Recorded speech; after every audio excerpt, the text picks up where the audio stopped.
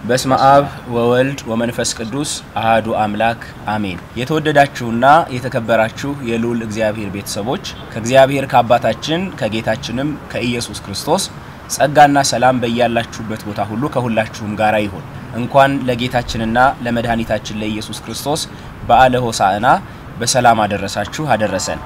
ዛሬ ከኛ ጋራ የምትቆዩበት አንድ መንፈሳዊ መርሃ ግብር ወደ እናንተ ይዘን መጥተናል።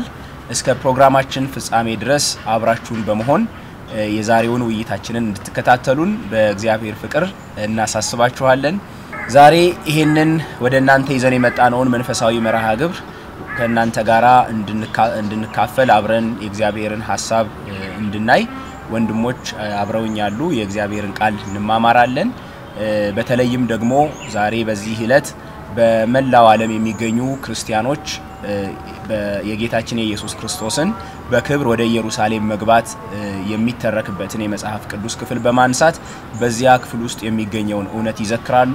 በሀገራችንም ሆሳዕና በመባል በዚህ ዕለት በልዩ ልዩ መንፈሳዊ ስነ ስርዓቶች የጌታችን የኢየሱስ ክርስቶስ በዓል መታሰቢያ ይደረጋል እና የዚህ በዓል ምንነትን አስመልክቶ መጽሐፍ ቅዱስ ስለዚህ ሁኔታ የሚነግረንን በዚህ ሁኔታ ውስጥ ደግሞ ዛሬም ለሕይወታችን እግዚአብሔር ያለውን ዓላማ የምንነጋገርበት ነው የሚሆነው።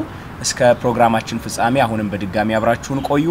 የእግዚአብሔር ሰላም በያላችሁበት ቦታ ከሁላችሁም ጋር ይሁን።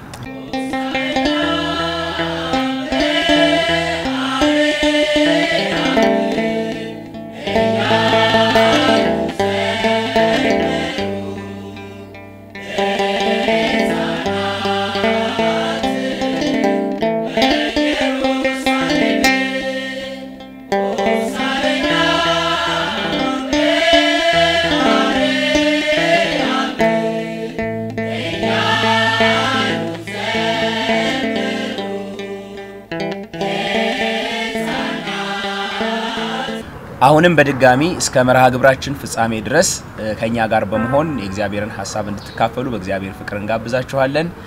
በቅድሚያ የምንሄደው የሆሳዕናን ታሪካዊ ሁኔታ የሚናገሩትን ከአራቱም ወንጌላት ውስጥ የተወጣጡ ክፍሎችን በማንበብ የዛሬውን ዝግጅታችንን እንጀምራለን። የማቴዎስን ወንጌል ወንድማችን መምህር አሰግድ ያነብልናል። የማርቆስን ወንጌል ከወንድማችን አቤኔዘር ያነብልናል። የሉቃስን ወንጌል እኔ ያነበዋለሁ። ወንድማችን ብርሃኑ ደግሞ የዮሐንስን ወንጌል ይሄ ታሪክ ያለበትን ክፍል ያነብልናል እና እነዚህን ንባቦች ሰምተን ቀጥሎ ወደምንወያይበት ሀሳብ እንገባለን። ሁላችሁም መጽሐፍ ቅዱስ በመያዝ አብራችሁን እንድትከታተሉን በእግዚአብሔር ፍቅር እንጋብዛችኋለን። ወንድማችን አዲስ እግዚአብሔር ጸጋና ምሕረት ይብዛልህ። እንዲሁም ደግሞ ይህን መርሃ ግብር በያላችሁበት ሆናችሁ የምትከታተሉ ሁላችሁም በወደደን ስለ መተላለፋችን ራሱን አሳልፎ በሰጠው በጌታችን በኢየሱስ ክርስቶስ ፍጹም ሰላም ሰላምታችን ይድረሳችሁ። እንኳን አደረሳችሁ። ወደ ኢየሩሳሌምም ቀርበው ወደ ደብረ ዘይት ወደ ቤተፋጌ ሲደርሱ ያን ጊዜ ኢየሱስ ከደቀ መዛሙርቱ ሁለትን ላከ፣ እንዲህም አላቸው፣ በፊታችሁ ወዳለችው መንደር ሂዱ። በዚያም ጊዜ የታሰረችን አህያ ውርንጫም ከእርሷ ጋር ታገኛላችሁ፣ ፈታችሁም አምጡልኝ። ማንም አንዳች ቢላችሁ ለጌታ ያስፈልጉታል በሉ፣ ወዲያውም ይሰዳቸዋል። ለጽዮን ልጅ እነሆ ንጉሥሽ የዋህ ሆኖ በአህያ ላይና በአህያይቱ ግልገል በውርንጫይቱም ላይ ተቀምጦ ወደ አንቺ ይመጣል በሏት ተብሎ በነቢይ የተነገረው ይፈጸም ዘንድ ይህ ሆነ። ደቀ መዛሙርቱም ሄደው ኢየሱስ እንዳዘዛቸው አደረጉ። አህያይቱንና ውርንጫዋንም አመጡለት፣ ልብሳቸውንም በእነርሱ ላይ ጫኑ፣ ተቀመጠባቸውም።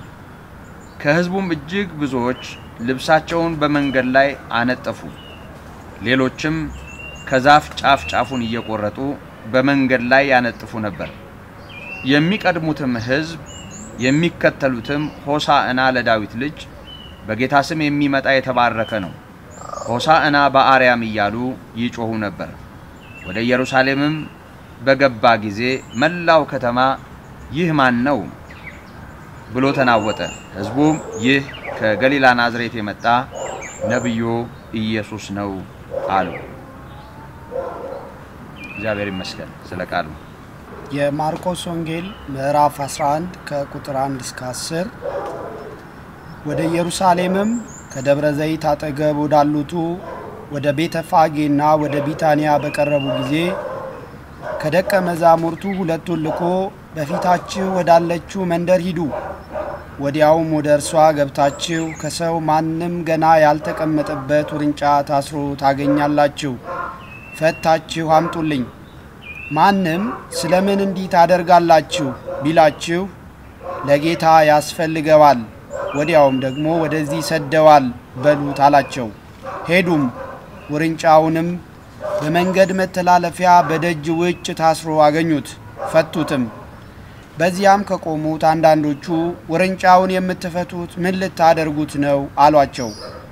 እነርሱም ኢየሱስ እንዳዘዘ አሏቸው። ተዋቸውም። ውርንጫውንም ወደ ኢየሱስ አመጡት፣ ልብሳቸውን በላዩ ጣሉ፣ ተቀመጠበትም። ብዙ ሰዎችም ልብሳቸውን በመንገድ ላይ አነጠፉ። ሌሎችም ከዛፍ ቅጠሎችን እየቆረጡ ያነጥፉ ነበር። ብዙ ሰዎችም ልብሳቸውን በመንገድ ላይ አነጠፉ። ሌሎችም ከዛፍ ቅጠሎችን እየቆረጡ ያነጥፉ ነበር። የሚቀድሙትም የሚከተሉትም ሆሳዕና በጌታ ስም የሚመጣ የተባረከ ነው፣ በጌታ ስም የምትመጣ የአባታችን የዳዊት መንግሥት የተባረከች ናት፣ ሆሳዕና በአርያም እያሉ ይጮኹ ነበር። የሉቃስ ወንጌል ምዕራፍ 19 ቁጥር 28 ይህን ከተናገረ በኋላ ወደ ኢየሩሳሌም ሲወጣ ይቀድማቸው ነበረ። ደብረ ዘይትም በሚባል ተራራ አጠገብ ወዳሉ ወደ ቤተ ፋጌና ወደ ቢታንያ በቀረበ ጊዜ ከደቀ መዛሙርቱ ሁለቱን ላከና በፊታችሁ ወዳለችው መንደር ሂዱ፣ ወደ እርሷም ገብታችሁ ከሰው ማንም ገና ያልተቀመጠበት ውርንጫ ታስሮ ታገኛላችሁ፣ ፈታችሁም አምጡት። ማንም ስለምን ትፈቱታላችሁ ብሎ ቢጠይቃችሁ እንዲሁ ለጌታ ያስፈልገዋል በሉ አላቸው። የተላኩትም ሄደው እንዳላቸው አገኙ። እነርሱም ውርንጫውን ሲፈቱ ጌቶቹ ውርንጫውን ስለምን ትፈታላችሁ አሏቸው። እነርሱም ለጌታ ያስፈልገዋል አሉ።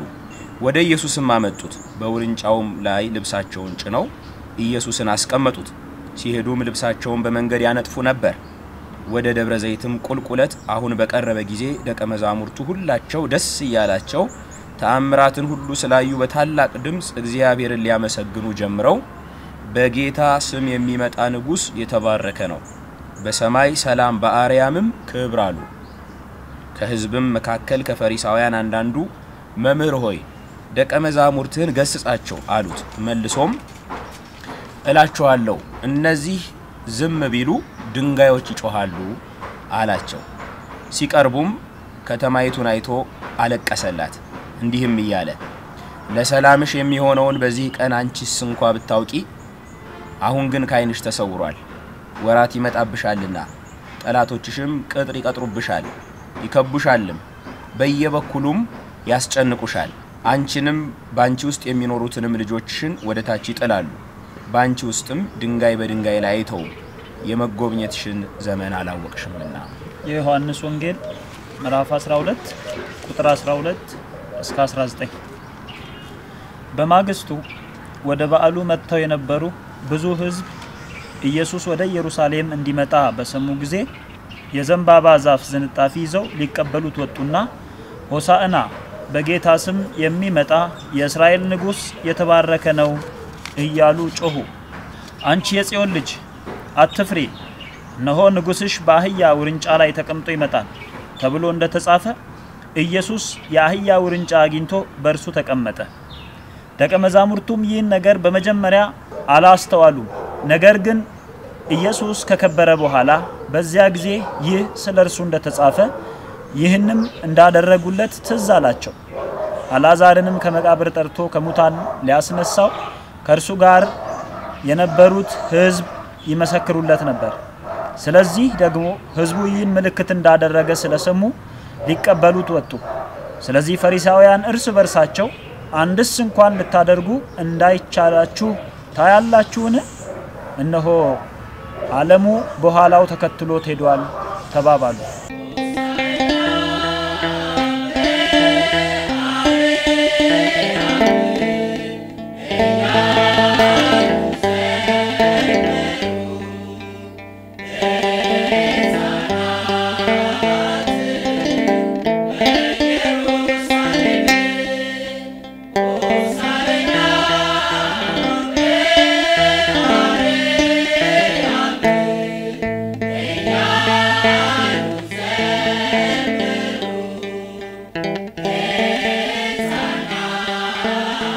እነዚህ አሁን የሰማናቸው እንግዲህ አራቱ የመጽሐፍ ቅዱስ ክፍሎች ስለ ዛሬ ስለምንነጋገርበት ስለ ሆሳዕና በዓል ይናገራሉ። አዲስ ኪዳን አራቱም ወንጌላውያን የመጨረሻዎቹን የጌታችን የኢየሱስ ክርስቶስ መከራውን ሞቱንና ትንሣኤውን የሚናገሩትን ክፍሎች ሰፋፊ ክፍል ሽፋን ሰጥተው ዘግበዋቸዋል። ኢየሱስ ክርስቶስ በምድር ላይ ማስተማር ከጀመረበት ጊዜ ጀምሮ የተለያዩ ድንቆችን ተአምራቶችን አድርጓል። በሐዲስ ኪዳን ውስጥ እንደምናነበው ከልደቱ ጀምሮ እስከ እርገቱ ድረስ ያሉ ክፍሎች ተዘግበዋል። ነገር ግን አብዛኛው ክፍል ስለ ኢየሱስ ክርስቶስ የመጨረሻዎቹ በዚህ ምድር ላይ የቆየባቸው ሳምንታት ሲናገር ሰፊ ክፍል ሰጥቶ ነው የምናነበው መጽሐፍ ቅዱስ ላይ። እንግዲህ ይሄ ክርስቶስ በመስቀል ላይ ራሱን አሳልፎ ስለኛ የሚሰጥበት ጊዜ እንደቀረበ ከደብረ ዘይት ተራራ በመነሳት ወደ ኢየሩሳሌም የሄደበትንና ወደ ኢየሩሳሌም በክብር የገባበትን መታሰቢያ ዛሬ እንነጋገራለን።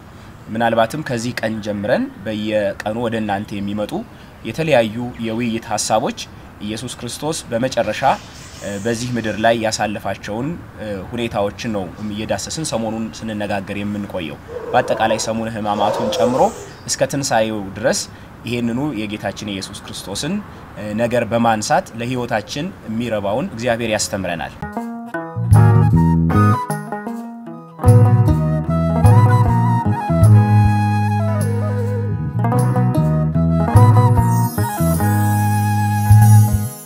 ዛሬ እንግዲህ ይሄንን እውነት በማንሳት እየተነጋገርን እንቆያለን። በቅድሚያ እስቲ በዚህ ታሪክ ውስጥ ያሉትን ዋና ዋና ሀሳቦችን እያነሳን እንደገና እንነጋገራለን። በመጀመሪያ ወንድማችን መምህር አሰግድ ከእሱ ጋራ የዚህ የበዓሉን ዋና ሀሳብ ማዕከላዊ ሀሳብ በዚህ ባነበብናቸው ክፍሎች ውስጥ ምን እንደነበረ ከእርሱ ጋራ እናያለን። የእግዚአብሔር ሰላም ከሁላችሁ ጋር ይሁን። አብራችሁን ሁኑ። እግዚአብሔር ይመስገን። እግዚአብሔር ተጨማሪ እና ተደጋጋሚ እድል እየሰጠን ከሁሉ የከበረውን ከሁሉ የላቀውን እውነት እንድናወራ እንድንናገር የዚህ የሕያው እውነት ምስክር እንድንሆን ባለ እድል ስላደረገን ክብርና ምስጋና ለአምላካችን ይሁን። አሜን። ምክንያቱም ደቀ መዛሙርት ይህንን እውነት እንዳይናገሩ በብዙ ማስጠንቀቂያ በብዙ ዛቻና በብዙ ግርፋት ውስጥ ያልፉ እንደነበረ ግብረ ሐዋርያትን ስናነብ እናስተውላለን። የኢየሱስ ክርስቶስ ስም እንዳይጠራ ስለሱም ማንም በመናገር እንዳያስተምር ይሄ ትልቁ የጠላት ዛቻ በአይሁድ በኩል ይተላለፍ የነበረ ዛቻ እንደነበረ ወንጌላቱ ያሳዩናል። እና እግዚአብሔር ዘመን ሰጥቶን ጊዜ ሰጥቶን እድል ሰጥቶን እንዲህ ባለ ክብርና ሞገስ ስሙን እንድንጠራ ስለሱ እንድናወራ በእያንዳንዱ ቤትና ጓዳ ኢየሱስም እንዲነሳ እኛን እንደ ምሕረቱ መጠን ባለ እድል ስላደረገን ለዚህ የምስራች እውነት ተናጋሪ ስላደረገን ክብርና ምስጋና ለአምላካችን ይሁን። እንደ ሕፃናቱ ሆሳዕና በአርያም እንላለን። ሆሳዕና በአርያም ማለት ከዕብራይስጥ የተወሰደ ቃል ነው። አሁን አድን፣ አሁን አቅና የሚል ትርጓሜ ነው ያለው።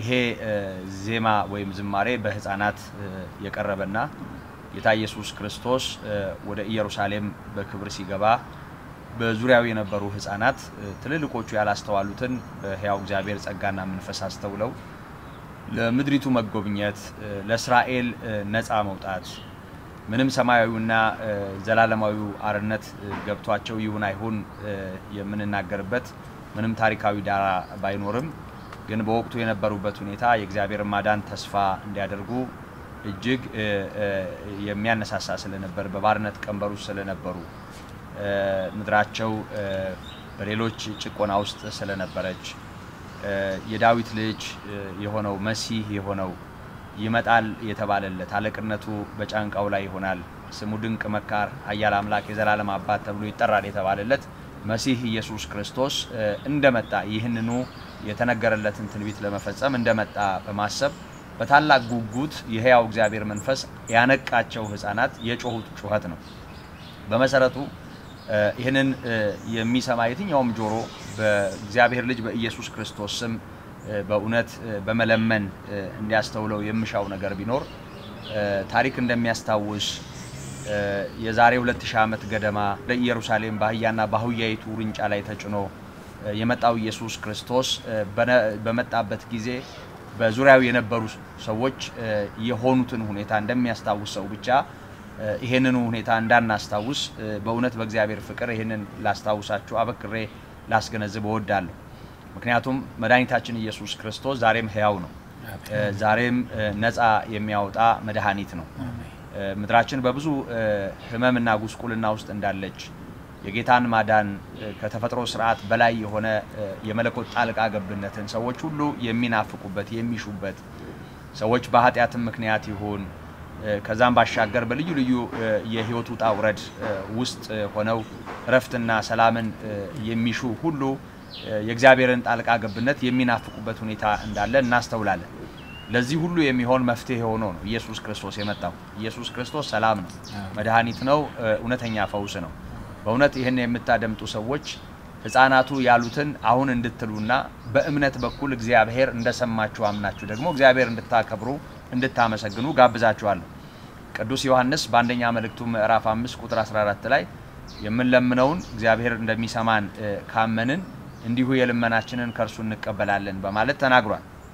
ቅዱሱ የእግዚአብሔር ቃል እንደሚነግረን የለመነውን እንደሚሰማን ካወቅን የልመናችንን ደግሞ ከእርሱ እንድንቀበል እንዲሁ እናውቃለን ይላል። ስለዚህ እግዚአብሔር በእውነት ያኔ በጌታ በኢየሱስ ክርስቶስ በኩል የህፃናቱን ልመና እንዳደመጠ እናምናለን። አቤቱ አሁን አድን፣ አሁን አቅና ነበር ጩኸታቸው። ያኔ እነሱን የሰማ ጌታ፣ ምላሽ የሰጠ ጌታ ዛሬም ጌታ ነው። ሞትን ድል አድርጎ ተነስቶ በአብ ቀኝ ስላለ ወላጆች እንደሌላቸው ልጆች አልተዋችሁም የሚል ተስፋና ቃል ኪዳንም ጌታ ስለገባ ዛሬም ልክ እንደ ጥንቱ የሚያድን ነፃ የሚያወጣና የሚያሳረፍ መሆኑን መናገር እንዲሁ ታሪኩን ለማስታወስ ብቻ ሳይሆን እረፍት ለሚፈልገው የሰው ልብ ሁሉ ብርቱ መጽናናት እንዲሆን ይህንን በማሰብ ነው። ስለዚህ ወገኖቼ አሁንም ሆሳዕና በአርያም እንላለን። አሁንም አሁን አድን እንላለን። አሁንም አሁን አቅና እንላለን። ለብዙዎች እንቆቅልሽ፣ ለብዙዎች መከራ፣ ለብዙዎች ህመም፣ ለብዙዎች ግራ መጋባት ይሄን ጌታ ዛሬም እንጠራዋለን። ይሄ ጌታ የሚሰማና የሚመልስ ጌታ ነው። ሞትን ድል ያደረገ ጌታ ነው። በአህያና በአህያይቱ ውርንጫ ላይ ተጭኖ ወደ ኢየሩሳሌም የገባበትን ሁኔታ እንግዲህ ቤተ ክርስቲያን በታላቅ ደስታ የምታስብበት ጊዜ ነው። ይሄ ጊዜ ጌታችን ኢየሱስ ክርስቶስ ይህንን ያደረገበት ጊዜ እንደሚታወቀው ቅድም መርሃ ግብር መሪውም ደግሞ እንደነገረን ጌታችን ኢየሱስ ክርስቶስ የአገልግሎት ጊዜውን ፈጽሞ በመስቀል ላይ ሞት ተፈጸመ ለማለት ሳምንት በቀረው ጊዜ በሳምንቱ የመጀመሪያ ቀን በዕለተ እሁድ ጌታ ኢየሱስ ክርስቶስ በአህያና በአህያይቱ ውርንጫ ላይ ተጭኖ ወደ ኢየሩሳሌም መግባቱን ነው የሚነግረን። እንግዲህ እኔ ቅድም ባነበብኩት በማቴዎስ ወንጌል ምዕራፍ 21 ላይ ተጽፎ እንደምናየው ጌታችን ኢየሱስ ክርስቶስ በትንቢተ ዘካርያስ ምዕራፍ 9 ቁጥር 9 ላይ የተጻፈውን ትንቢት ወደ ፍጻሜ ማምጣቱን በይፋ እናስተውላለን። ቅዱሳት መጻሕፍት ቀድሞ በተነገረለት ትንቢት መጠን የተገለጠ መሆኑ ጌታ ኢየሱስ ክርስቶስን። ጌታ ኢየሱስ ክርስቶስ እንደው ድንገት በምድሪቱ የተከሰተ ክስተት ሳይሆን የዘላለም አምላክ በእግዚአብሔር እቅድና ፕላን ሰዎችን ለማዳን ወደዚህ ዓለም የመጣ ጌታ አስቀድመው ነቢያት የተናገሩለት መሲህ መሆኑን ከሚያረጋግጡ ነገሮች አንዱ አስቀድሞ ስለ እሱ የተነገሩ ነገሮችን በፍጻሜ ማሳየት መቻሉ ነው። እንደውም ቅድም ሲነበብ በደንብ አስተውላችሁት ከሆነ ደቀ መዛሙርቱ አስቀድመው ይህንን አልተረዱም ነበር። ግን በኋላ በነቢያት የተጻፈው ቃል መፈጸሙን ማስተዋላቸውና እንደ ቃሉ ጌታ ኢየሱስ ክርስቶስ በእርግጥም መሲህ ሆኖ የተገለጠ መሲህ መሆኑን መረዳታቸውን ጠቆም አድርጎናል። ጌታ ኢየሱስ ክርስቶስ ወደ ኢየሩሳሌም መቃረቢያ ላይ ሲደርስ ቤተፋጌ በሚባለው ስፍራ አካባቢ አንዲት አህያ ከውርንጫይቱ ጋር ታስራ መገኘቷንና ደቀ መዛሙርቱ ወደዛ በመሄድ አህያዋን ከነ ውርንጫዋ ፈተው እንዲያመጡለት ጌታ ማዘዙን እናያለን። እንግዲህ ስለ ኢየሱስ ክርስቶስ የተጻፈውን አራቱንም ወንጌል ስንመለከት እንደምናስተውለው በምድር የአገልግሎት ጊዜው ጌታችን ኢየሱስ ክርስቶስ ይሄ ነው የሚባል ንብረት ያላፈራ እንደነበረ ይታወቃል። ቤት አልነበረውም። ንብረት አልነበረውም። ምክንያቱም ሊኖር አልመጣም። እኛን ለማኖርና በሞት ታሪካችንን ለመለወጥ የተገለጠ ጌታ ነው። እንደ ማንኛውም ነዋሪ ሞት እስኪያነሳው ድረስ ያገኘውን ሰብስቦና ባገኘው ነገር እየኖረ እንደሚሞት እንዲሁ ጌታ ኢየሱስ ክርስቶስ እንደሱ ለመሆን ወደዚህ ዓለም አልመጣም። ከዚህ የተነሳ አህዮች እንዳልነበሩት የኔ የምላቸው የሚላቸው ንብረቶች እንዳልነበሩት ይታወቃል። ግን ጌታ ወደዛ ስፍራ ደቀ መዛሙርቱን ላከ። ሲልካቸው እንግዲህ ሁሉን አዋቂነቱን ያሳያል። ከዛም ባሻገር ደግሞ በሁሉ ላይ ስልጣን ያለው መሆኑንም ያሳያል። አህያ ከነውርንጫይቱ ታገኛላችሁ፣ ሄዳችሁ ፈታችሁ አምጡልኝ። ማንም ለምንድን ነው ይሄንን የምታደርጉት ብሎ ቢጠይቃችሁ ባጭር ቃል ለጌታ ይህ እነዚህ ያስፈልጉታል ብላችሁ መልሱለት፣ ወዲያውም ፈቶ ይሰዳቸዋል በማለት ነው የተናገረው። እንደተናገረውም ነው የሆነው። ኢየሱስ ሁሉን የሚችል ጌታ ነው። ሁሉን የሚያውቅ ጌታ ነው። የሰማይ የምድር ልዑል ነው። በምድር ቆይታው ምንም እንኳ የሱ የኔ የሚለው ነገር ወይም በሌሎች የሱ የሚባል የሚታይ ነገር ባይኖረውም በዚህ ሁኔታ ውስጥ ግን ጌታ ኢየሱስ ክርስቶስ ሁሉን ማድረግ የሚችል ጌታ መሆኑን የወደደውን ማድረግ የሚችል ጌታ መሆኑን በሚያሳይ ሁኔታ ደቀ መዛሙርቱን ላካቸው። ደቀ መዛሙርቱም እንደተባሉት ሄደው ይዘውለት መጡ። ጌታ እነዚህን በጥምር ተቀመጠባቸው። ወደ ኢየሩሳሌምም ሲገባ በዙሪያው የነበሩ ሰዎች ተኮልኩለውና ተሰብስበው ልብሳቸውን እያወጡ እያነጠፉ አህያይቱ ላይ እየጎዘጎዙ ደግሞም የድልና የምስራች ምልክት የሆነውን የዘንባባ ዝንጣፊ አንስተው ሆሳዕና በአርያም ለዳዊት ልጅ እያሉ ኢየሱስ የዳዊት ልጅ መሆኑን ኢየሱስ ንጉሥ መሆኑን ጌታችን ኢየሱስ ክርስቶስ መሆኑን በሚያሳይ ሁኔታ እግዚአብሔርን ያከብሩና ታላቅ ሁካታና ደስታ በከተማይቱ እንደሆነ እናያለን። ይሄ ሁኔታ በሕፃናቱ ልብ ውስጥ ጌታ ኢየሱስ ክርስቶስ በእርግጥም እንደ ቃሉ የተገለጠ መሲህ የዳዊት ልጅ መሆኑን የሚያሳይ ነበር። ይሄ ሁኔታ ደስ ያላላቸው አንዳንድ ሰዎች ነበሩ። በዚህም ሁኔታ በጣም መቆጣታቸውና ደስተኛ እንዳልነበሩ የሕፃናቱንም የምስጋና ድምፅ ጸጥ ለማሰኘት መሞከራቸውንም ጭምር እናያለን። የሆነ ሆኖ ጌታ በአህያና በአህያይቱ ውርንጫ ላይ ሆኖ ወደ ኢየሩሳሌም መግባቱ የሚያሳየው አንድ እውነት እንደ ትንቢቱ የተነገረለት መሲህ መሆኑን ጌታ ኢየሱስ ክርስቶስ መሲህ መሆኑን የሚጠበቀው መሲህ መሆኑን የዳዊት ልጅ መሆኑን የሚያሳይ ነው። በእርግጥ የጌታችን የኢየሱስ ክርስቶስን በክብር መገለጥና እኛን ለማዳን እንደዛ ባለ ሁኔታ መገለጥ የነቢያት መጻሕፍት በጥምር ስለሚያሳዩ ጌታ ኢየሱስ ክርስቶስ በዚያው ዘመንና ወቅት የሚነግስ የመሰላቸው ሰዎች ነበሩ። እንግዲህ የነ ዮሐንስ እናት እንደው አንተ ስትነግስ፣ አንተ ስትከብር አንድ ልጄን በዚህ በኩል ሌላ ልጄን በዚህ በኩል አድርግልኝ ብላ መለመኗ ጌታ ኢየሱስ ክርስቶስ በዛው ዘመን በእስራኤል ዙፋን ላይ የሚነግስ መሲህ እንደሆነ ገምታ እንደነበረ ያሳያል። በእርግጥ ኢየሱስ ክርስቶስ ንጉሥ ነው። አሁን ጌታ ሆኖ ንጉሥ ሆኖ ከብሮ ሁሉ ታዞለት ባናይም ከሞት መከራ የተነሳ እንደው ስቃይ ተቀብሎ መከራ ተቀብሎ ከሁሉ አንሶ የነበረው ኢየሱስን የክብርና የምስጋናን ዘውድ ተጭኖ እናያዋለን እንዳለ የዕብራውያኑ ጸሐፊ። በእርግጥ በዚህ ክብሩና በዚህ ልዕልናው የሚገለጥበት ዘመን አለ። የሆነ ሆኖ እንዲህ ባለ ሁኔታ መምጣቱ ጌታችን ኢየሱስ ክርስቶስ ለስቅለት ጥቂት ቀን እንደቀረውና ያንን የሚያፋጥን ስራም ጭምር እንደሰራም እናያለን። ምክንያቱም ከዛ በፊት በነበረው ሁኔታ ጥቂቱን ባርኮ ጌታችን ኢየሱስ ክርስቶስ ብዙዎችን ሲመግብ ቢያነግሱት እንደሚያዋጣ በማሰብ ለማንገስ ሲያጉተመትሙ ነበር። እርስ በርሳቸው ሲወያዩ ነበር እና ይህንን አውቆ ጌታ ፈቀቅ ሲል እናያለን። ያ ማለት ምን ማለት ነው? ኢየሱስ ክርስቶስ በዚህ አይነት ሁኔታ የሚነግስበት ዘመንና ጊዜ ስላልነበረ የተገለጠበትም እውነት በሞቱ እኛን ማዳን ስለነበረ ከዚህ የተነሳ ጌታ ንግስናውን ሲሸሽ እናያለን። ግን ሰሙኑ ሲደርስ፣ ወቅቱ ሲደርስ፣ ጊዜው ሲደርስ ግን ጌታ ኢየሱስ ክርስቶስ በመሲህነቱ ራሱን ሲገልጥና እንደገና ይሄ ሁኔታ እንደሚያስገድለው ስለሚያውቅ እንደሚያሰቅለው ስለሚያውቅ ለመጣበት ዓላማ ለተገለጠበት እውነት ራሱን ሲያመቻች እናያለን። ጌታ በአህያና በአህያይቱ ውርንጫ ላይ ሆኖ መምጣቱ መሲህነቱን ያሳያል ብለን እንደ ቃሉ እንዲህ እንናገር እንጂ ያ ብቻም ሳይሆን ኢየሱስ ክርስቶስ እንዲገደል ውሳኔውን ካጣደፉት ካፋጠኑት ነገሮች አንዱ ደግሞ ይሄ ሁኔታ እንደነበረ እናያለን። ያም ደግሞ ጌታ ኢየሱስ ክርስቶስ ስራውን ጨርሶ ደቀ መዛሙርቱን መርጦ ጨርሷል። ማንነቱን በልባቸው ስሏል። ህይወቱን አሳይቷቸዋል፣ አስተምሯቸዋል። ምን እንደሆነ ከሱ እርገት በኋላ ኃላፊነታቸው፣ ስራቸው ምን እንደሆነ በደንብ በልባቸው ይህንን አትሞታል። ስራውን ፈጽሟል። ከዚህ የተነሳ ያልተፈጸመው ነገር በመስቀል ላይ ሞት የኃጢአታችንን ዕዳ መክፈል ነው። ስለዚህ እሱ ደግሞ ሳምንት ነው የቀረው። ሰዓቱ መድረሱን ጌታ ኢየሱስ ክርስቶስ ያውቃል። ሁሉም ነገር በጊዜ ነው በጌታ ዘንድ ሲከናወን የምናየው። ስለዚህ ሰዓቱ መድረሱን የሚያውቀው ጌታ ወደዛ የሚያጣድፈውን ስራ ለማድረግ ተነሳ። በአህያና በአህያይቱ ውርንጫ ላይ ተጭኖ ወደ ኢየሩሳሌም ገባ። ይሄ ሁኔታ አይሁድን አስቆጣቸው። ስለዚህ ኢየሱስ ክርስቶስ ቶሎ እንዲገደል ከምድሪቱ እንዲወገድ ውሳኔያቸው እንዲጣደፍና እሱን ለመስቀል ሁሉ ነገር እንዲመቻች ሁኔታውን አደላደለ። ለማንኛውም ኢየሱስ ክርስቶስ መሲህ ነው። ኢየሱስ እርሱ ክርስቶስ ነው። ኢየሱስ እርሱ የተቀባ ነው። ኢየሱስ እርሱ ቅቡ ነው።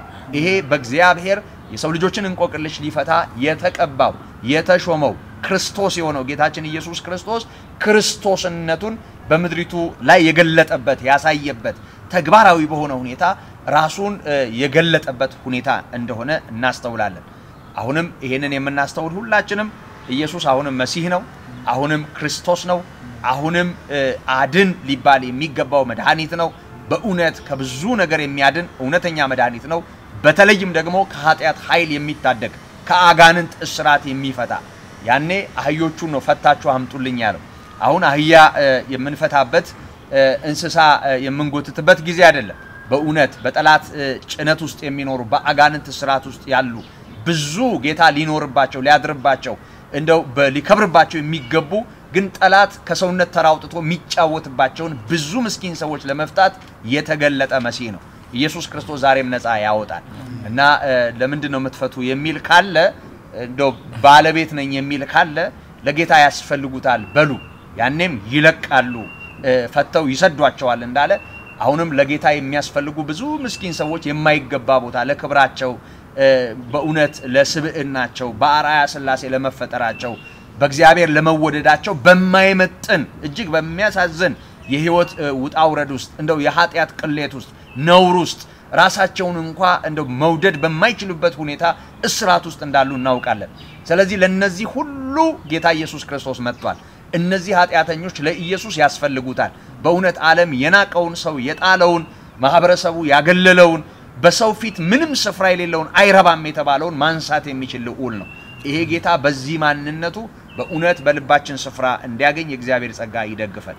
ታሪኩን ከማስታወስ ባሻገር ይሄ እውነት በልባችን ሊጎላ ይገባል። እንግዲህ በማቴዎስ ምዕራፍ እ፣ 21 ላይ ያለውን ነው እንደው ሰብሰብ ባለ ሁኔታ ያስታወስኩት። እንግዲህ ቀሪውን ደግሞ እንሰማለን። እግዚአብሔር ቃል ሕያው ነው። ክብርና ምስጋና ለአምላካችን ይሁን።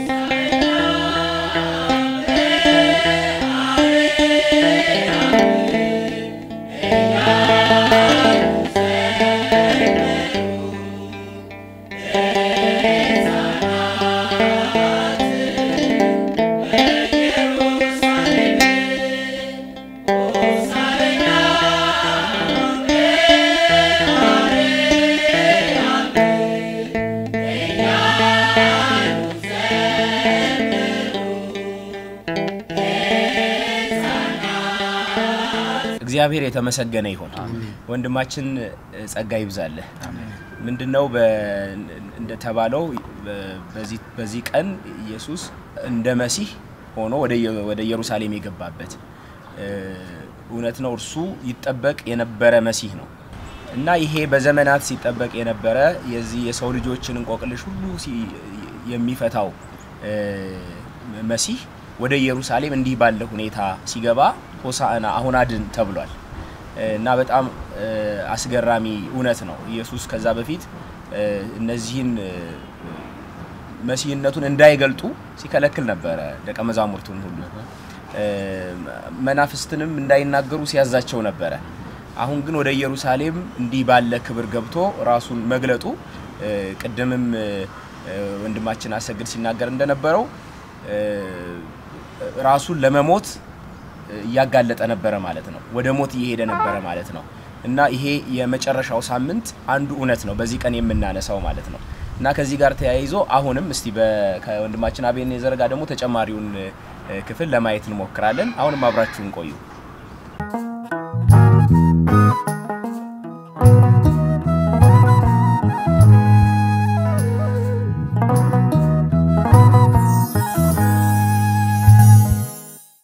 እግዚአብሔር አምላካችን ከዘላለም እስከ ዘላለም ስሙ የተመሰገነ ይሁን።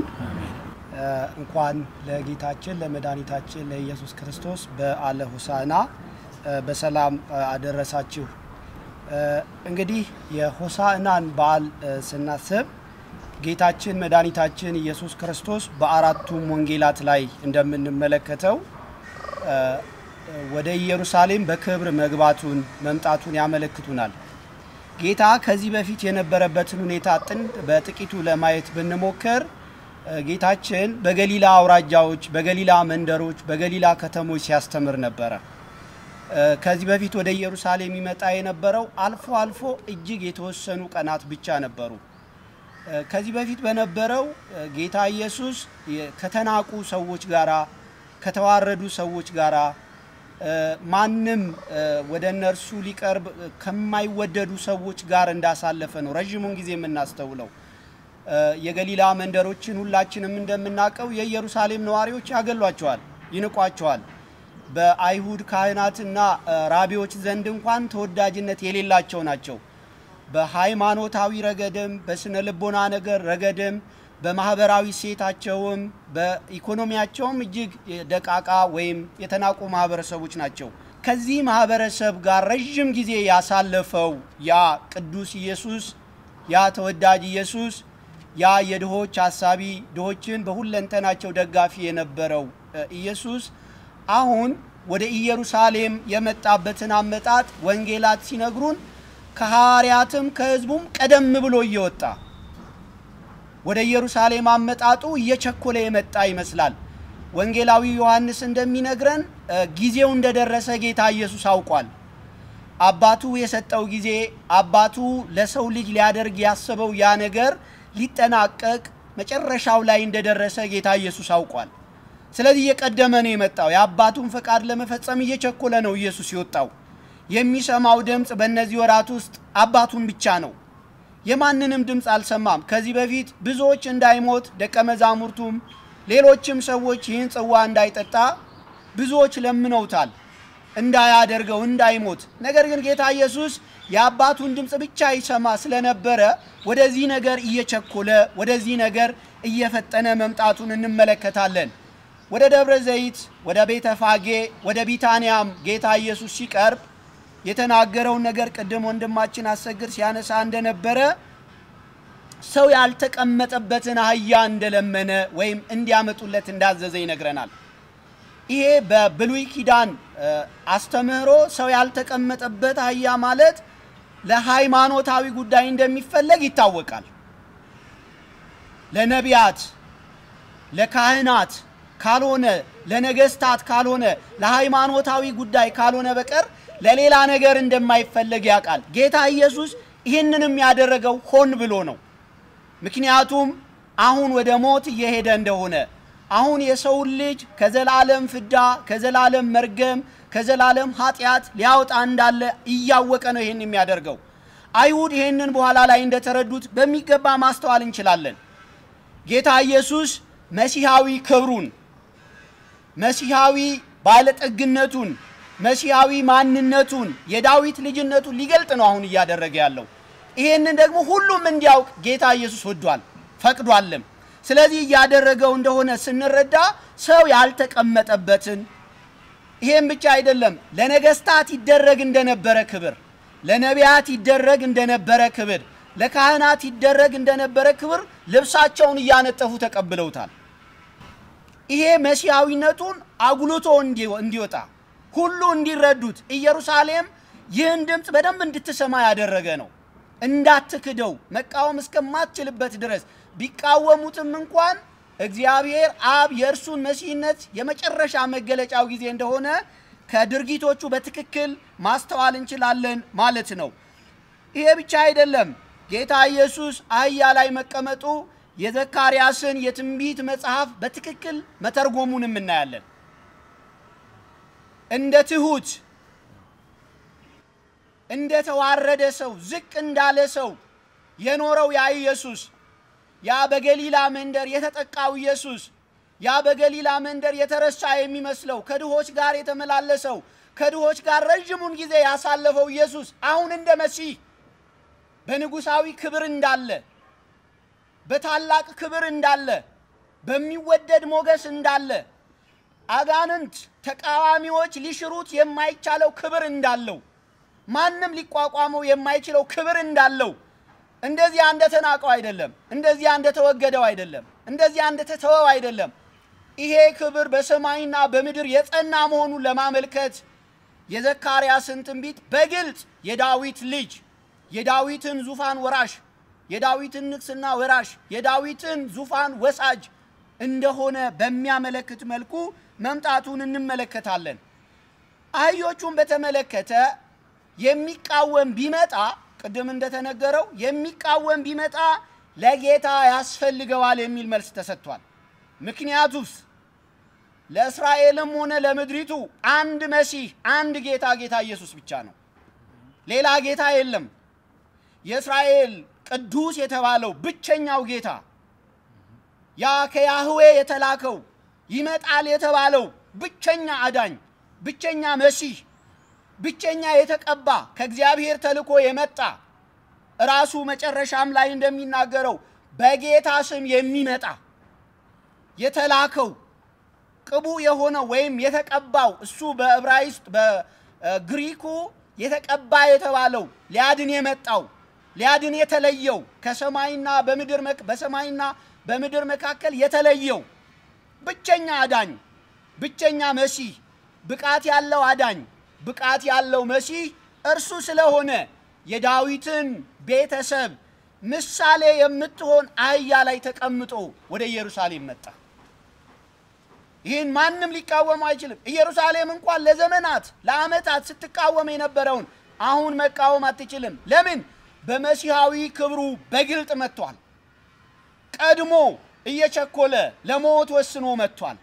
በአህያ ላይ ተቀምጦ ደቀ መዛሙርቱ ወደ ኢየሩሳሌም መግባቱን የተረዱት ጌታ ኢየሱስ ካረገና መንፈስ ቅዱስ ከወረደ በኋላ ነው።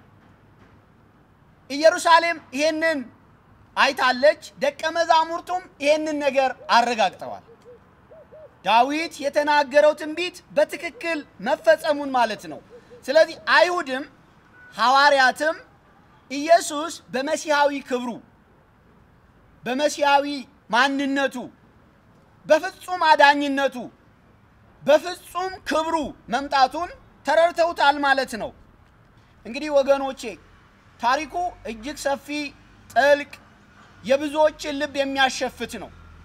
የሕፃናትን ጭምር ሳይቀር የእርሱ ከሳሾች የነበሩትን እንኳን ለእርሱ የሆነውን ክብር ባዩ ጊዜ ሕፃናት ዝም እንዲሉ መገሰጽ እስኪያስችል ነገር ግን ጌታችን መድኃኒታችን ኢየሱስ ክርስቶስ ለኢየሩሳሌም ጌታዋ እንደሆነ ይቃወሙትና ይከተሉት ለነበሩትም ጌታ እንደሆነ በተለይም ደግሞ መሲሐዊ ክብሩን ጌታችን ኢየሱስ ሲገልጥ ሲገልጥ በኋላ በመስዋዕትነት እንደሚያጸናው እንደሚያረጋግጠው ያውቃል።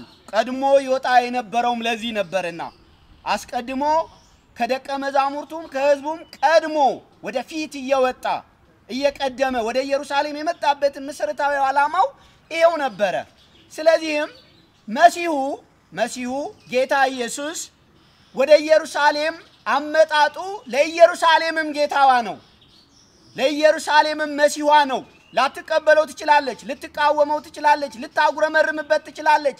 ትላንት በምታውቀው ማንነቱ በገሊላ ባለው ማንነቱ ለድሆች በነበረው እሳቤው በዚያ ነገር ልትንቀው ትችላለች።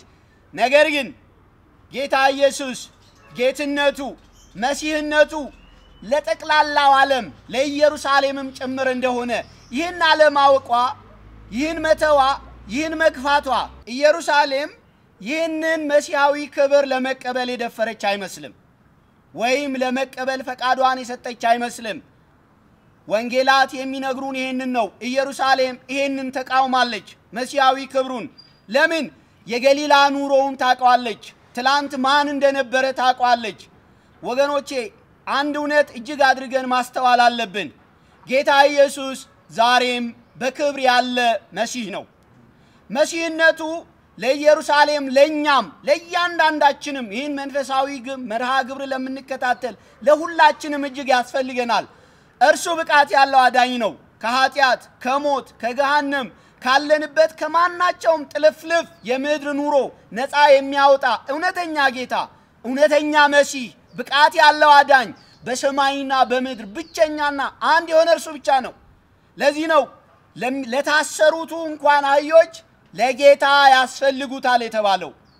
ለጌታ ብቻውን ጌታ ለሆነ ብቻውን መሲህ ለሆነ ብቻውን አዳኝ ለሆነ ብቻውን ንጉሥና በክብር ላለ ለእርሱ እግዚአብሔር ይህን እውነት በማስተዋል በኢየሱስ መሲሐዊነት ብቻ በኢየሱስ ብቃት ያለው አዳኝነት ብቻ በማመን የዘላለም ሕይወትን እንድንወርስ እግዚአብሔር በጸጋው ይደግፈን። አሜን።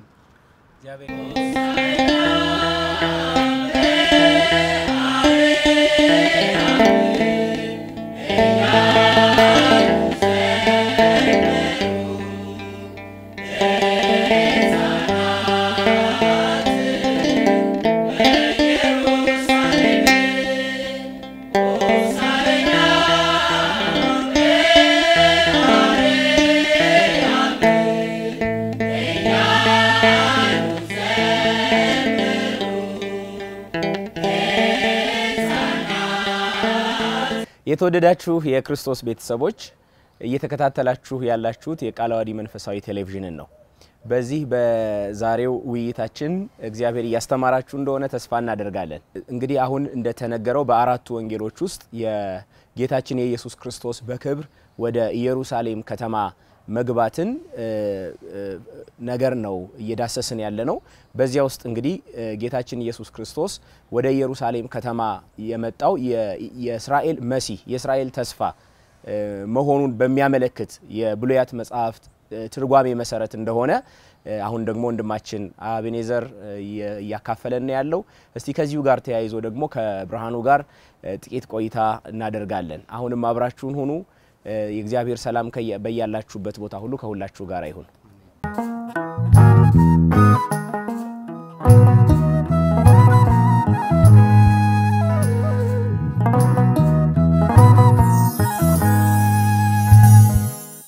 የጌታችንና የመድኃኒታችን የኢየሱስ ክርስቶስ ጸጋና ሰላም ከሁላችን ጋር ይሁን።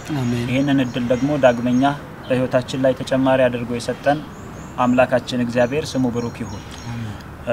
ስንሰማው እንደቆየ ነው። እግዚአብሔርም በሰጠን እድል ውስጥ ስናደምጥ እንደቆየ ነው። አሁንም ደግሞ ተጨማሪ የመንፈስ ቅዱስን ምክር እንሰማለን።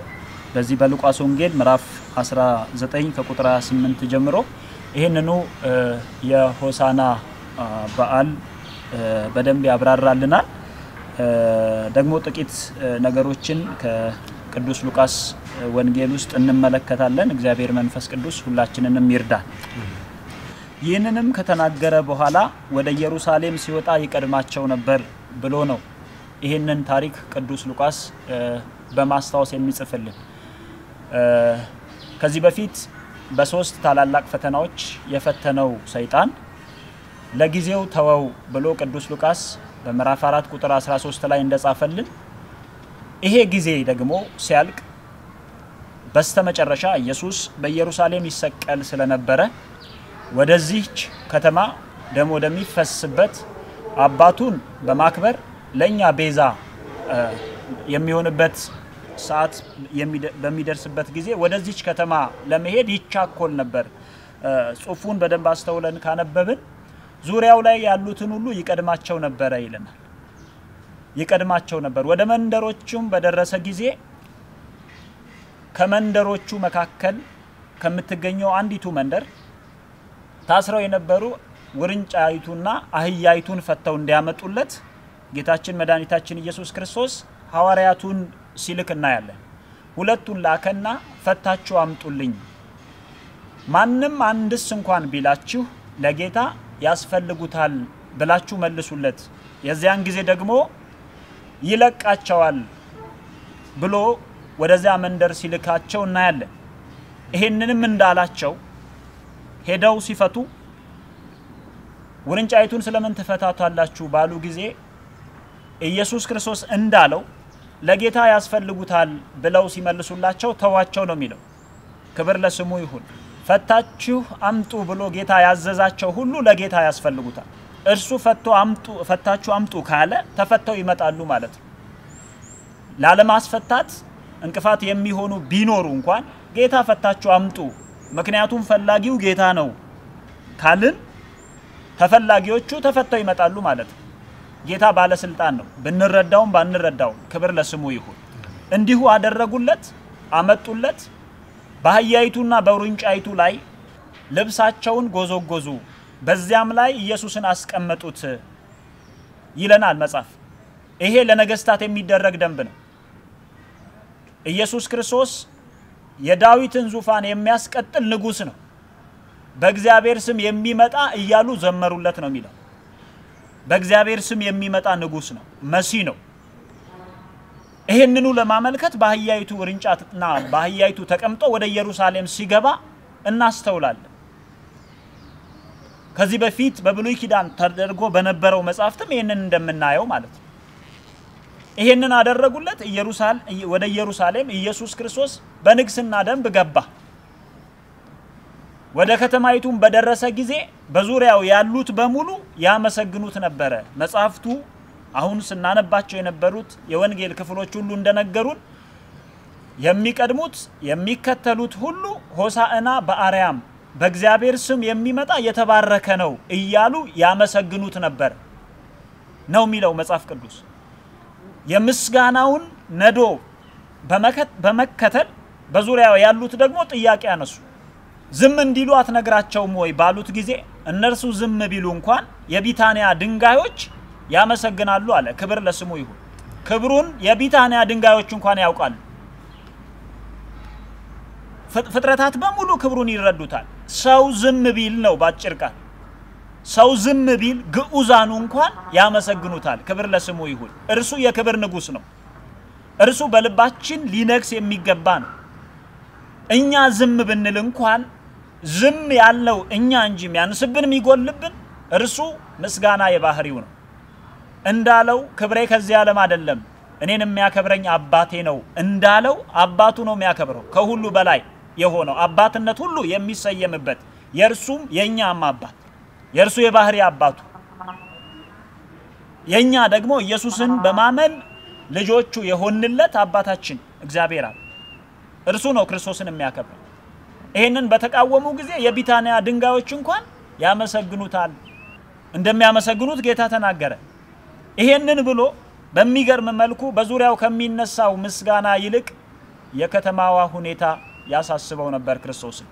የከተማዋ ሁኔታ ፍጻሜዋ ያሳስበው ነበር። ይህንንም ብሎ እንባውን አፈሰሰላት ለከተማዋ ይላል ቅዱስ ሉቃስ። ምክንያቱም ከተማዋ ከቀድሞ ዘመን ጀምሮ ከሷ በሚመጣው መሲህ ሕዝብና አሕዛብ ይባረክባታል ተብሎ የተነገረላት ከተማ ናት። እነዚያ ሰዎች ባራኪው ክርስቶስ የሚመጣባቸው የሚወለድባቸው ሰዎች ከተማ ናት።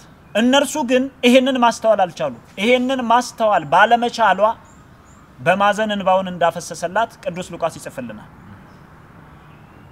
ለሰላምሽ የሚሆነውን ብታውቂ ኖሮ ብሎ ይሄንን እየተናገረ እንባውን አፈሰሰላት። ኢየሩሳሌም አላወቀችው። በመጽሐፍ እንደተጻፈው በቅዱስ ዮሐንስ ወንጌል ምዕራፍ 1 ቁጥር 12 ላይ ወደ ገዛ ወገኖቹ መጣ፣ የገዛ ወገኖቹ እንኳን አልተቀበሉትም። ለተቀበሉት ለእነርሱ ግን በስሙ ላመኑት የእግዚአብሔር ልጆች የሆኑ ዘንድ ስልጣንን ሰጣቸዋል። እግዚአብሔር ይመስገን፣ እኛ ስልጣን አግኝተናል እርሱን በመቀበላችን እርሱን በልባችን በማስተናገዳችን እርሱን ባለመግፋታችን እግዚአብሔር ቀብቶ ወደዚህ ዓለም የላከውን መሲህ ክርስቶስን በመቀበላችን ለአባቱ ልጆች ተብለናል፣ ለእግዚአብሔር ልጆች ተብለናል። ኢየሩሳሌም ግን ከዚህ እውነት ጋር ተላለፈች። በሚገርም መልኩ በዚያ ቀን በዚህ መልኩ የተቀበለችው ሆሳና ለዳዊት ልጅ እያለች በመዘመር የተቀበለችው ኢየሩሳሌም መልኳን ስትቀይር እናያለን ከስድስት ቀን በኋላ ይሰቀል ብላ ስትጮህ እንደነበረ የማቴዎስ ወንጌል ምዕራፍ 27 ላይ የተጻፈው ሀሳብ ይነግረናል። በዚህ ምክንያት የሚሆነውን አስቦ የሚሆነውን አይቶ አርቆ ተመልክቶ ኢየሱስ ክርስቶስ ይህንን በማሰብ ከእርሱ ጋር መተላለፋቸውን በማሰብ ኢየሱስ ክርስቶስ እንባውን አፈሰሰ። ደጋግመን ስንገልጽ እንደነበረው ደጋግመን ስንናገር እንደነበረው ሆሳዕና ማለት አሁን አድን፣ አሁን አቅና የሚለውን ትርጉም ይይዛል። እነርሱም መጀመሪያ ላይ ወደ ኢየሩሳሌም በሚገባ ሰዓት ቢገባቸውም ባይገባቸውም አቅና፣ አድን፣ አንተ የዳዊት ልጅ እያሉ ነበረ ሲዘምሩለት የነበረው። አሁንም ለምድራችን እንዲያቀና፣ እንዲያሰምር፣ እንዲያስተካክል ከሰላማችን ከእውነተኛው ከክርስቶስ ጋር በመገናኘት ልብና ሀሳባችን እንዲያርፍ ሁላችንም አሁን አድን ልንል ይገባል። አሁን አቅና ልንል ይገባል። በብዙ ነገር የተበላሸው ህይወታችንን፣ ሰላማችንን፣ ኑሯችንን፣ ትዳራችንን፣ የዘላለም ህይወታችንን፣ ሀገራችንንም ጭምር አሁን አቅና፣ አንተ የሰላም ንጉስ ግባ፣ አንተ የሰላም ንጉስ ወደ ልባችን፣ ወደ ቤታችን፣ ወደ ኑሯችን ደግሞም ወደ ሀገራችን ግባ ልንለው ይገባል። ይሄ ካልሆነ ግን ሆሳና መታሰቢያ ብቻ ነው የሚሆነው፣ ትዝታ ብቻ ነው የሚሆነው። ኢየሱስ ደግሞ መታሰቢያ ብቻ የሚደረግለት አንድ የሞተ ማንነት ያለው አይደለም፣ የዘላለም ህይወት ነው። ክብር ለስሙ ይሁን። ሁሌ የሚሰራ ሁሌ የሚያድን ሁሌ የሚያቀና ሁሌም የሚያበጅና የሚያስተካክል ነው። ትላንትና እንደተዘመረለት ዛሬም ሊዘመርለት ይገባል። ዛሬም አድን ሊባል ይገባል። ምስጋና በአርያም ተብሎ እንደተነገረለት ዛሬም በአርያም በአባቱ ቀኝ ለተቀመጠው ምስጋና ልንሰጠው ይገባል። ይህንን እንድናደርግ መንፈስ ቅዱስ ልባችንን እንዲያቀና አምላካችን እግዚአብሔር ይርዳን።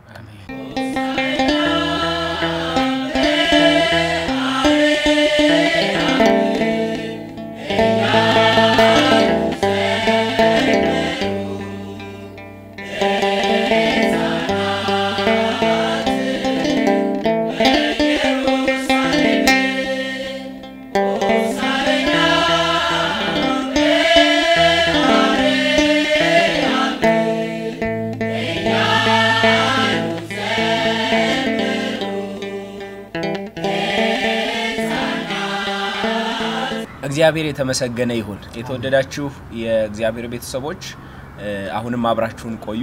ወንድማችን ብርሃኑ እግዚአብሔር ጸጋ ያብዛልህ።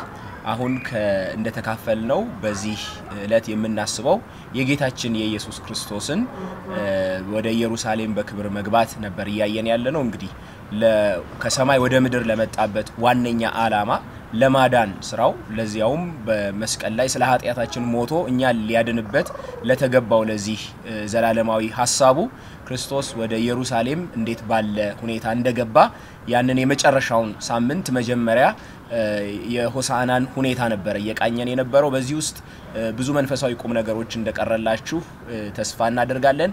አሁንም በሚኖሩን ጥቂት ደቂቃዎች ውስጥ ከዚያው ርዕስ ሳንወጣ አንዳንድ ነገሮችን መልሰን እንድናይ አስፈላጊ ነው። እስቲ ምናልባት አሁን መጨረሻ ላይ ወንድማችን ብርሃኑ አንስቶት ከነበረው ሀሳብ በመነሳት ጥቂት ነገር እንድትሉ ወደ እናንተ እንደገና ሀሳብ አመጣለሁ። ምክንያቱም ጌታችን ኢየሱስ ክርስቶስ ከተማይቱን ቁልቁል ከደብረ ዘይት ወደ ኢየሩሳሌም ሲመጣ ከተማይቱን ቁልቁል እያያት ነው የወረደ የነበረው እና ሁኔታውን ሲያይ ለከተማይቱ አልቅሶላታል። ኢየሱስ አልዓዛር በሞተበት ጊዜ እንዳነባ እናስታውሳለን። ምን ያክል ለሰው የነበረውን የልቡን ርኅራሄ ያሳያል። አሁንም ደግሞ እንደ ሕዝብ እስራኤል የሚባለው ሕዝብ ለዘመናት ይጠብቀው የነበረ መሲህ ነው ክርስቶስ ከአብርሃም ጀምሮ ይስሐቅ፣ ያዕቆብ፣ መላ እስራኤል ደግሞ በረጅም ዘመናት ሁሉ ውስጥ ሲጠበቅ ሲናፈቅ የነበረ መሲህ ነው። አድነን ሲሉት የነበረ መሲህ ነው እና ከእግዚአብሔር ዘንድ ሆኖ ተገልጦላቸው በመካከላቸው ሲመላለስ አላወቁትም፣ አልተቀበሉትም። አሁንም ደግሞ ከሳምንት በኋላ በራሳቸው እጅ መሲሃቸውን ይገድላሉ። ይሄንን ሁኔታ ሲያይ አልቅሷል። የመጎብኘትሽን ወራት አላወቅሽም ነው ያላት እስራኤልን። እግዚአብሔር በልጁ ነው ምድራችንን የጎበኘው የሰው ልጆችን ታሪክ የጎበኘው። ይሄንን ጉብኝት እስራኤል አላወቀችም። ለሰላምሽ የሚሆነውን ብሏታል። ክርስቶስ ለዚህ ዓለም ሰውን ከእግዚአብሔር ጋር ሰውን እርስ በርሱ ሰላም ያደረገ መድኃኒት ነው እና ይህንንም አላወቀችም። ስለዚህ መሲኋን ሰቅላ ገድላለች እስራኤል እንደ ሕዝብ። ምናልባት ይሄ ያኔ የተፈጠረ ሁኔታ ነው። ብዙ ጊዜ ሰዎች እንደምናየው በዚያ አሁን ባነበብነው ክፍል ውስጥም እንደምናየው ፈሪሳውያን ሰዎች ወደ ኢየሱስ መሄድ ሲጀምሩ ብስጭት ይሞላባቸዋል። ዓለሙ በሙሉ ተከትሎት ሄዷል እኮ ነው ያሉት እና ይሄ ነገር በሁሉም ዘመናትና በሁሉም ህዝቦች ዘንድ ይስተዋላል። ኢየሱስን መግፋት ክርስቶስን አለመቀበል የሚያስከፍለውን ዋጋ ሰው ልብ አይለውም። እውነት ነው። እኛ አዋጃችን መዳን በሌላ በማንም የለም የሚል ነው። ይህንን ነው የምንናገረው፣ ምንሰብከው፣ የምናስተምረው። ይሁን እንጂ ክርስቶስን ያላመነ ደግሞ ለዘላለም እንደሚፈረድበትም ይሄኛው ሌላኛው እውነት ነው። ይህንንም የምንናገረው እውነት ነው። የተወደዳችሁ የእግዚአብሔር ቤተሰቦች በክርስቶስ የሚያምን አይፈረድበትም፣ በልጁ የሚያምን አይፈረድበትም። ነገር ግን በአንዱ በእግዚአብሔር ልጅ ስም ያላመነ ግን አሁን ተፈርዶበታል ይላል። ክርስቶስን አለማመን በፍርድ ውስጥ መኖር ነው። በተለይ ደግሞ በዚህ ዘመን በምድራችንም ላይ የምናየው ይህንን እውነት የመግፋት አዝማሚያ ቀጥሎ የሚያስከትለው ፍርድ ሰው ልብ ሊለው ሲለው አናስተውልም። እና እስቲ በዚህ ጉዳይ ላይ ጥቂት ነገር እንድትሉ እንደገና ወደ ወንድሞቼ ሀሳብ አመጣለሁ። መምህር አሰግድ ከዚህ ጋር የተያያዘ እስቲ የምትለውን ሀሳብ እንድታካፍለን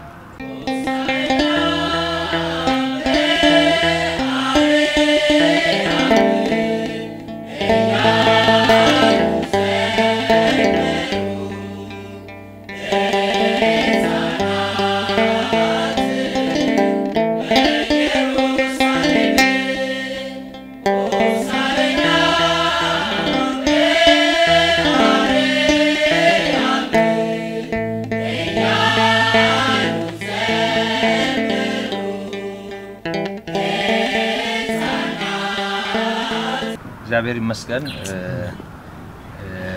ጆሮአችን ደጋግሞ ማዳኑን እየሰማ ነው። በጎቼ ያውቁኛል፣ ድምፄንም ይሰማሉ፣ ይከተሉኝማል እንዳለ ጌታችንን መስማት የምንችል የምንከተለው ሆነን ተገኝተናል በእግዚአብሔር ምሕረት። ይሄ ድል ለምድሪቱ ሁሉ እንዲሆን ምኞታችን ብቻ ሳይሆን ጸሎታችንም የአገልግሎታችንም ማዕከል ነው። ጌታችን ኢየሱስ ክርስቶስ ከደብረ ዘይት ተራራ ወደ ኢየሩሳሌም ቁልቁል ሲመጣ ባየው ሕዝብ ሁኔታ እጅግ ማዘኑን ወንድሜ ጠቆም ሲያደርግ ነበር። ቅዱሳት መጻሕፍትም ይህንን እውነት ያሳያሉ። ጌታ ለዛው ሕዝብ ነው የመጣው። ለትውልድ ሁሉ የተገለጠ እውነተኛ መድኃኒት ነው። በተወለደበት ጊዜ በሉቃስ ላይ ተጽፎ እንደምናየው እነሆ ለሰው ሁሉ የሚሆን ታላቅ የምስራች እነግራችኋለን፣ በዳዊት ከተማ እርሱ ክርስቶስ ጌታ የሆነ ተወልዶላችኋል በማለት የምስራች ለእረኞቹ መልአኩ እንደተናገረው ጌታችን ኢየሱስ ክርስቶስ ለሰው ልጆች ሁሉ እረፍት ሆኖ ነው ወደዚህ ዓለም የመጣው። በተለይ ደግሞ እግዚአብሔር ለአብርሃም ከገባው ኪዳን ጋር ተያይዞ በዘርህ አሕዛብ ይባረካሉ ብሎት ስለነበር ከዛ ዘር መወለዱ የዳዊት ልጅ ሆኖ በስጋ መገለጡ ደግሞ ለዛ ወገንና ሕዝብ የተለየ እድል ነበር። ከዚህ ጋር በተያያዥነት አንድ ነገር ወደ ልቤ መጣ። ቅዱስ ጳውሎስ በሮሜ ምዕራፍ 9 ላይ በስጋ ወገኖቹ ስለሆኑት ስለ አይሁድ ያነሳው ነገር በስጋ ወገኖቼ ስለሆኑት ስለ አይሁድ ብዙ ጭንቀት እና የማያቋርጥ ሐዘን አለብኝ ስል እውነትን እናገራለሁ አልዋሽም ይላል። ምክንያቱም እነዚህ በስጋ ወገኖቹ የሆኑ አይሁድ ይህን ጌታ ከሌላው ዓለም በተለየ መልኩ ለመቀበልና ለማስተናገድ ብዙ እድል ነበራቸው። የመቅደሱ ስርዓት በመካከላቸው ነው የነበረው። የካህናት አገልግሎት በመካከላቸው ነው የነበረው። አካሉን የሚያሳይ ጥላ በመካከላቸው ነው ሲከናወን የነበረው። በጣም ብዙ መጻሕፍት በመካከላቸው ነበሩ። ግን ያ ሁሉ ሆኖ ለዘላለም የተባረከው አምላክም በመካከላቸው ተገልጦ እሱን መረዳትና ማወቅ አለመቻላቸው በጣም ልቡን ጎድቶት ነበር። እንደውም የሚሆን ቢሆን ኖሮ እኔ ልረገም እነሱ ይዳኑ ብዬ ስለ እነርሱ አለቅስ ነበር፣ ጸልይ ነበር በማለት መናገሩን እናያለን። እና የእስራኤል ልጆች ጥፋት በጣም ያሳዝናል። የአብርሃም ልጆች ናቸው። እግዚአብሔር በብዙ እንክብካቤ የተሸከመው ትውልድ ነው። ደግሞ መሲህ ኢየሱስ ክርስቶስ በመካከላቸው ተገልጧል። አይተውታል፣ ዳሰውታል። ግን ከእሱ ጋር መስማማት ባለመቻላቸው በታላቅ ድንዛዜ ውስጥ መውደቃቸውን እናያለን። እና ጌታ ወደ ኢየሩሳሌም በመጣበት ጊዜ እንግዲህ እሱን የሚያህል መሲህ ተገልጦ በመካከላቸው ምንም እንደሆነ የማይሰማቸውና በራሳቸው ዓለም ወዲያና ወዲህ ይሉ የነበሩ ሰዎች እንደነበሩ ጌታ አስተዋለ ወይም ደግሞ ተመለከተ። እንግዲህ ወደ ቤተ መቅደሱም እንደደረሰ ቤተ መቅደሱም ከቆመለት ዓላማ ውጪ ሆኗል። የርግብ ሻጮች ገበታ የሚታይበት፣ ገንዘብ ለዋጮች ገንዘብ የሚዘረዝሩበት የተጧጧፈ ንግድ ይከናወንበት የነበረ ነበር። ከዛ ባሻገርም ደግሞ ጌታ ኢየሱስ ክርስቶስ እንዲህ ባለ ምስጋና ወደ ከተማይቱ ከመግባቱ ጋር ተያይዞ አይሁድ በጣም ተበሳጭተውና ተቆጥተው ነበር። በተለይ ታላላቆቹ አለቆች የሆኑቱ ሰዎች በጣም ውስጣቸው ብስጭት ሞልቶ ነበር። ግን የተጨነቁ ደግሞ ጥቂት ሰዎች መጥተው ጌታ እንደፈወሳቸውና እንዳዳናቸው በመ- በመቅደሱ ዙሪያ እጁን እንደዘረጋላቸው ተጽፏል። ከዛ ተከትሎ እንግዲህ ጌታ ሲያድን እያዩት መቅደሱንም ሲያነጻ እያዩት ያ ሁሉ ነገር ሆኖ እያዩ ያልተቀበሉና ልባቸውን ዘግተው ምስጋናውን ለማስቆም ጥረት ሲያደርጉ የነበሩ ሰዎች ነበሩ። ደግሞ በርቀት ያሉ ሰዎች ነበሩ። ጌታ ከተማይቱን አይቶ አዘነላት ነው የሚለው። እንደውም ጌታን አይደለም በጌታ ስም የሚመጣ የተባረከ ነው እስክትይ ድረስ አታይኝም በማለት እንባውን አፍሶ በከተማይቱ ድንዛዜ በሰዎች አለማስተዋልና እንደው ጨለማ ውስጥ መውደቅ ምክንያት አልቅሶ ያችን ከተማ ለቆ ዞር እንዳለ ተመዝግቧል። ኢየሩሳሌም ኢየሩሳሌም ዶሮ ጫጩቶቿን እንደምትሰበስብ ስንት ጊዜ ልሰበስብሽ ወደድኩ፣ እናንተ ግን ልትሰበሰቡ አልወደዳችሁም። ኢየሩሳሌም ኢየሩሳሌም ነቢያትን የምትገድይ ነሽ እያለ በቃ የነፍሰ ገዳዮች ከተማ መሆኗ ነቢያትን አሳዳጅ መሆኗ ከነቢያት በላይ የሆነውን መሲሁን ኢየሱስ ክርስቶስንም ለመስቀል ሽርጉድ እያለች መሆኗን አይቶ ጌታ እጅግ በጣም እንዳዘንና እንዳለቀሰ ቅዱሱ የእግዚአብሔር ቃል ይናገራል። በእርግጥም ለቅሶና ሐዘን ብቻ አይደለም፣ ፍርድም ጭምር ነው በዚች ከተማ ላይ ጌታ ያስተላለፈው። ከዚህ በኋላ በስሜ የሚመጣ ይናፍቅሻል ነው ያላት። በጌታ ስም የሚመጣ የተባረከ ነው እስክትይ ድረስ አታይኝም ማለት አይደለም። እኔን በአካል በስሜ የሚመጡ ሰዎች ይናፍቁሻል፣ በስሜ የሚመጡ ሰዎች ያጓጉሻል። ማን ይሆን ኢየሱስ የሚለውን ስም ይዞ መጥቶ የሚሰብክ የሚያስተምር የሚናገር እስክትይ ድረስ አታይኝም የሚል ፍርድ ጭምር መናገሩን እናያለን። ያ ብቻ አይደለም፣ ደጆችሽ የተፈቱ ሆነው ይቀራሉ፣ ወንዶችና ሴቶች ልጆችሽን በአለቶች ላይ ይፈጠፍጧቸዋል በማለት ክርስቶስ በእነሱ ልብና ሕይወት ቦታ በማጣቱ ምክንያት ለአውሬው፣ ለክፉ፣ ለገዳዩ፣ ለሌላው ነገር ተላልፈው መሰጠታቸውን ጭምር በሐዘን ነው እየተናገረ ያለው። ጌታችን ኢየሱስ ክርስቶስ እርሱን አለመቀበላቸው እሱን አለማክበራቸው ብቻም ሳይሆን እሱን ባለመቀበልና ባለማክበራቸው ምክንያት የሚመጣባቸውን መዓት ወይም ደግሞ መከራና ፍዳ ጭምር በማሰብ ማዘኑን ነው የምናየው። ኢየሱስ ክርስቶስን አለመቀበል፣ አለማክበር፣ ተገቢውን ስፍራ ለሱ አለመስጠት ጌታን ማዋረድ አይደለም። ጌታ አንድ ጊዜ ከብሯል። ሞትን ድል አድርጎ ተነስቶ በአባቱ ቀኝ ነው ያለው። ዓለም ተሰብስበው ቢቃወመው አይዋረድም። የሰው ልጆች ተሰብስበው ቢያጨበጭቡለትም አይከብርም።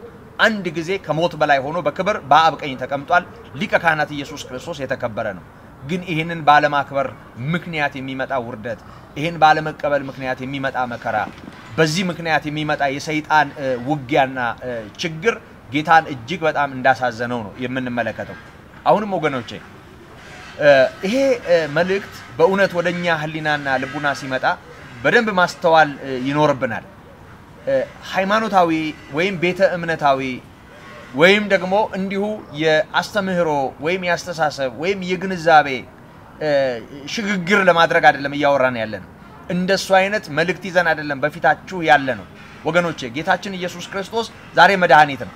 ይህንን እውነት ባለማስተዋል ምክንያት የብዙ ነገር ባሪያ ሆነን ሰይጣን ሲጫወትብን ኑሯችንን፣ ትዳራችንን፣ ህይወታችንን፣ ማህበራዊ እንቅስቃሴያችንን ሁሉ እየበጠበጠ ደም ሲያለቃልቀን ህይወታችንን ሲጫወትበት መኖር የለበትም። ጌታችን ኢየሱስ ክርስቶስ አሁንም ሰላም ነው። የሰላምሽን አለቃ የሰላምሽን ጌታ ብታውቂ ነው ያላት። ኢየሱስ ሰላም ነው። ሰላም ሆኖ ነው ወደ ምድሪቱ የመጣው። እረፍት ሆኖ ነው የመጣው። አጋንንትን የተዋጋው። እስራትን የበጠሰው። ቀንበር ነው የሰበረው። ሌላ ምንም ነገር አላደረገም። ከማንም ምንም ፈልጎ አልተገለጠም ጌታ።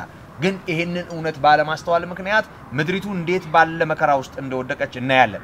እና ኢየሱስ ክርስቶስ በጣም እንዳዘነላት እንዳለቀሰላትና በኋላም ደግሞ ያው በታሪክ እንደምናውቀው ኢየሩሳሌም ጨርሶ መፍረሷን ያ የምትመካበት መቅደስ መናዱን ክብራቸውን ማጣታቸውን በቤተ መቅደስ ደጅ ላይ መታረዳቸውን በዓለም ላይ መበተናቸውን ደሙ በእኛና በልጅ ልጆቻችን ላይ ይሁን ብለው እንደው አፋቸውን ሞልተው እጃቸውን ታጥበው አሳልፈው የሰጡት ሰዎች ግፍ እንደተከተላቸውና እንዴት በእነዚህ ሰዎች ምክንያት ምድሪቱ እንደጨቀየችም እናስተውላለን። ወገኖቼ ክርስቶስን መጋፋት በገዛ ራስ ላይ ሾተል ማንሳት ነው። ጌታችን ኢየሱስ ክርስቶስ ሳውልን ያለውን ነገር ማስታወስ እፈልጋለሁ። ሳውል ሳውል ስለምን ታሳድደኛለህ ካለው በኋላ ብትቃወም የመውጊያው ብረት ላንተ ይብስብሃል ነው ያለው። ሰው ለገዛ ጥቅሙ ነው ከጌታ ጋር መስማማት ያለበት። ኢየሱስ ክርስቶስ ሰላም እረፍት ነው። ከስራት ይፈታል፣ ከአጋንንት ኃይል ይታደጋል። ለገዛ ሰላማችን ለገዛ ጥቅማችን ከጌታ ጋር መግባባት አለብን ወገኖቼ። ይሄ ባለመሆኑ ምክንያት እስራኤል እስካሁን ድረስ ከፍላ ያልጨረሰችው ዕዳ እንዳለባት እናውቃለን። እና አሁንም ክርስቶስን የመግፋት ጦስ እኛ ላይ እንዳይወድቅ እኛ ሆሳዕና ልንል ይገባል። ክርስቶስን ልንረዳው ይገባል። መሲህ ነው፣ ጌታ ነው፣ የዳዊት ልጅ ነው፣ የእግዚአብሔር ልጅ ነው፣ እውነተኛ መድኃኒት ነው። በዚህ መጠን ልንረዳው ይገባል። ለጥቅማችን፣ ለክብራችን፣ ለማንም ብለን አይደለም። ይሄ መስተዋል አለበት ወገኖቼ። በእውነት ክርስቶስ እያለ ጠላት አይጫወትባችሁ፣ ጠላት አይጫወትብን፣ ክፉ አይቀልድብን። በእስራት ውስጥ ያላችሁ ሰዎች፣ በአጋንንት እስራት፣ በልዩ ልዩ ትብታብ ውስጥ ያላችሁ ሰዎች ኢየሱስ ክርስቶስ ዛሬም ሕያው ነው፣ ነፃ ማውጣት ይችላል። ሲፈታ አይተነዋል፣ ነፃ ሲያወጣ አይተነዋል። በክብር በሰው ሲያድር አይተነዋል። ሰዎችን ሲጠቅም አይተነዋል።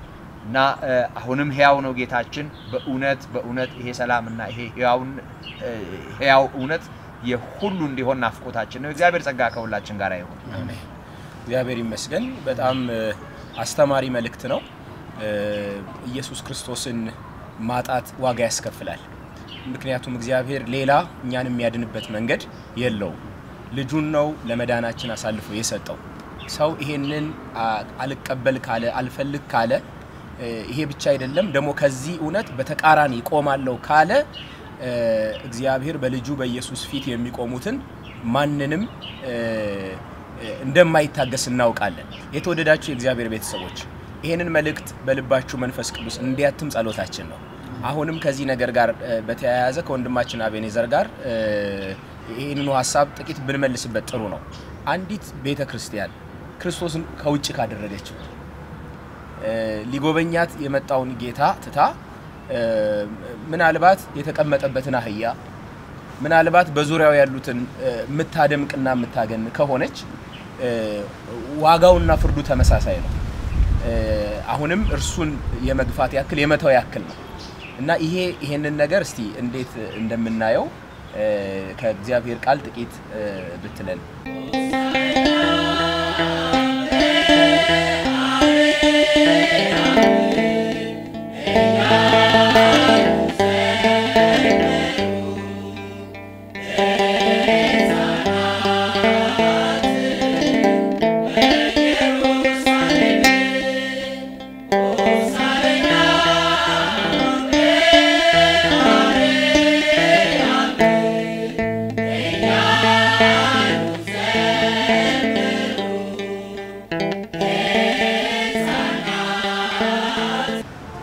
እግዚአብሔር አምላካችን ጸጋ ስላበዛልን ምሕረቱን ስላገነነልን ስሙ ለዘላለም የተመሰገነ ይሁን። አሜን።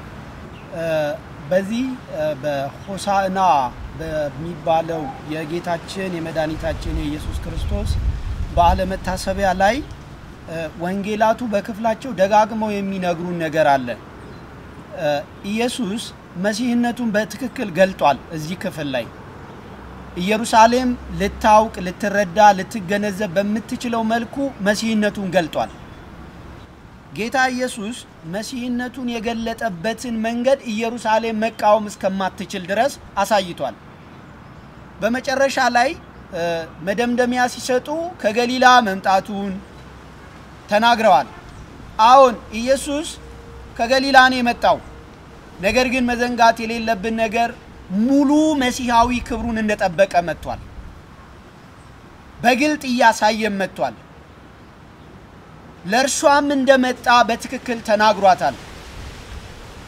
ነገር ግን ወንጌላዊው እንደሚነግረን አይቶ አለቀሰላት ነው የሚለው። መሲሐዊ ክብሩን ገልጦላታል። ማንነቱን አሳይቷታል። ተአምራት አድርጓል። ሙት አስነስቷል። ትሁት ሆኖ ተገልጦላታል። ከዚህ ቀደም በነበረው አይነት ሁኔታ አይደለም። ነቢያት እንዳደረጉት፣ ካህናት እንዳደረጉት፣ ነገስታት እንዳደረጉት አይደለም። በልዩ ክብር መጥቷል። በልዩ ኃይል መጥቷል። ሆሳዕና እየተባለ ተዘምሮለታል። ይሄን አይታለች ኢየሩሳሌም። ይሄንን በትክክል ተመልክታለች። ነገር ግን ይሄንን ፈጽማ ተቃወመች። ሊያድናት የመጣውን ሰላሟን ሊሰጣት የመጣውን ክብሯን ሊመልስላት የመጣውን ሰማያዊ ባለጠግነት ሊያበዛላት የመጣውን ይሄንን መሲህ ፊት ለፊት ተቃወመችው። ይሄንን መሲህ ፊት ለፊት ገፋችው። ዛሬ በምድራችን ላይ እንደምንመለከተው አይነት ማለት ነው። ሰዎች ከኢየሱስ ይልቅ በሚያንሱ መልካም ነገሮች እንኳን ቢሆኑ ምናልባት የእሱ ስጦታዎች እንኳን ቢሆኑ ምናልባት ልጅነት ቢሆን ሀብት ቢሆን እግዚአብሔር የሰጠን መልካም ነገር ቢሆን አስተውሉ። አይሁድ ታምራቱን ወደዋል፣ አድንቀዋል። ያበረከተውን ምግብ በልተዋል። ሙት ማስነሳቱን አይተዋል። አልዓዛር ምስክር ነው፣ እዛ መካከላቸው አለ። ነገር ግን መሲሁን አልፈለጉትም። በክብር የተገለጠውን በሞገስ የተገለጠውን በአዳኝነት የተገለጠውን በብቃት የተገለጠውን ይሄንን አልተቀበሉም። ኢየሱስ ከዚህ በላይ ለኢየሩሳሌም ሊያደርግላት የሚችለው ነገር የለም። ሰላም ሊሰጥ መጥቶ አልተቀበለችውም። ደስታ ሊሰጥ መጥቶ አልተቀበለችውም። እረፍት ሊሰጥ መጥቶ አልተቀበለችውም። ቤዝወቱን የቤዛነት ክፍያ ከፍሎ ነፃ ሊያወጣት መጥቶ አልተቀበለችውም። ስለዚህ አየ፣ የልብ ድንዳኔ አየ፣ ሲገፋ አየ፣ ሲጠላ አየ፣ ሲናቅ አየ፣ ከሰው ሁሉ ልብ ሲወጣ አየ። ሁል ጊዜ የጌታ አይኖች ሩሩ ናቸው፣ ውስጥ ያያሉ። አስተውሉ። በማቴዎስ ወንጌል ምዕራፍ 9 ቁጥር 36 ላይ እረኛ እንደሌላቸው በጎች ተቅበዝብዞ አየ። ኢየሱስ አየ ብቻ አይደለም፣ አዘነ። ኢየሩሳሌምን አያት። እሱን መግፋቷ የምትከፍለውን ዋጋ አየ። እሱን መጥላቷ፣ እሱን ማስወጣቷ፣ እሱን ከከተማዋ አስወጥታ ከከተማ ውጭ መጣሏ፣ በአፋ መጣሏ አየ። ዛሬም እግዚአብሔር ያያል። የሚያየው ግን ለፍርድ አልነበረም፣ ለርኅራዬ ነበረ። ሞገስ ሊሆናት፣ የክብር ካባ ሊያለብሳት፣ የአንገት ዝርግፍ ጌጥ ሊሆናት፣ በውበት ሊያራምዳት ከዚህ ቀደም እንደነበረችው እስራኤል አይደለ፣ በልጁ መሲያዊ ክብር ውስጥ የምትገባ እስራኤል የእግዚአብሔር እስራኤል አይቶ ነበረ። ግን እምቢ አለች፣ ናቀችው፣ አዋረደችው። የተዋረደውን ጌታ ክብሩን ጥሎ እሷን ሊያድን የመጣውን ጌታ ይበልጥ ልታዋርደው ተነሳች። አለቀሰላት። ምናልባት ኢየሱስ ምን ተሰምቶት ይሆን ያለቀሰው? ምንድን ይሆን ያለቀሰው? ምን ብሎ ሲሆን ያለቀሰው? ይሄ መሲህ ሆኖ የመጣው ጌታ ታላቁ ጌታ ክብሩን ጥሎ የመጣው ጌታ ይሄ ባለ ብዙ ሞገስ የነበረው ጌታ እንደተሸነፈ እንደተሸነፈ እንደተዋረደ አለቀሰ። በብዙ ክብር የመጣላት ጌታ ራራላት፣ አዘነላት፣ አለቀሰላት። እሷ ግን ልታየው አልወደደችውም። እሷ ግን ልትቀበለው አልወደደችውም። ወገኖቼ እግዚአብሔር ዛሬም ብዙ እድል፣ ብዙ በር፣ ብዙ ቃሉን እንድንሰማ ወደ እርሱ እንድንመጣ ፊታችንን ወደ እርሱ ዘወር እንድናደርግ ብዙ ምናልባትም መሲሁ እንዳደረገው በእንባ ጭምር ይማልደናል። በእንባ ጭምር ልጆቹን እየላከ ቃሉን እየላከ መንፈሱን እየላከ የመሲሁን የሕያውነት ሥራ ዛሬም በምድራችን ላይ እያሳየ ወደ ልባችን ያመጣል። ብንገፋው ግን እግዚአብሔር እንደተናገረው ቤትሽ የተፈታ ወና ሆኖ ይቀራል እንዳለው ኢየሱስን ባትቀበል ሁለንተናዊ ውርደት፣ ሁለንተናዊ መገፋት፣ ሁለንተናዊ መጥፋት ነው የሚደርስባት። የንብረት ብቻ አይደለም የህይወት ጭምር። አስተውሉ። ኢየሱስን መግፋት፣ መሲሁን መግፋት እግዚአብሔር ለምድር የመጨረሻ ስጦታ የሰጠውን እርሱን መግፋት ሁለንተናዊ ጥፋት፣ ሁለንተናዊ ክስረት፣ ሁለንተናዊ ውርደት ነው በሕይወታችን የሚያመጣው። ኢየሱስን መናቅ አንድ ፍጡር የመናቅ አንድ ንጉሥ የመናቅ ያህል አይደለም። ኢየሱስን መግፋት አንድ ንጉሥ የመግፋት አንድ አገር የመግፋት ጉዳይ አይደለም። ሕይወት የመግፋት ራሱ እግዚአብሔርን የመግፋት በዘላለም ጉዳይ ላይ ያለውን አጀንዳ የመሰረዝ ያህል ነው። ስለዚህ ወገኖቼ ይሄ መሲህ ዛሬም ይማልደናል። ይሄ መሲህ ዛሬም ይለምነናል። መንፈሱ ሕያው ነው፣ ደሙ ሕያው ነው። አገልጋዮቹ ምስክሮቹ ዛሬም ሕያዋን ናቸው። እግዚአብሔር ወደ ምድሪቱ ዛሬም ይመጣል። ወደ ፖለቲካችን ቢሆን፣ ወደ ትዳራችን ቢሆን፣ ወደ አገራችን ቢሆን፣ ወደ አገልግሎታችን ቢሆን መሲሁ ዛሬም ይመጣል።